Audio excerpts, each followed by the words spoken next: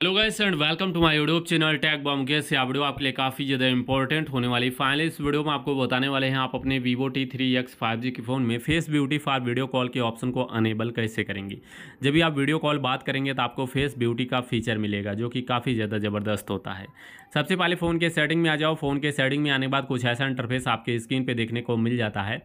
यहाँ पे दोस्तों आप लोगों को हल्का सा नीचे आना होता है और नीचे आने के बाद यहाँ पे चलिए आपको दिखाते एक ऑप्शन मिलता है शॉर्टकट एंड एसेसिबिलिटी नाम से।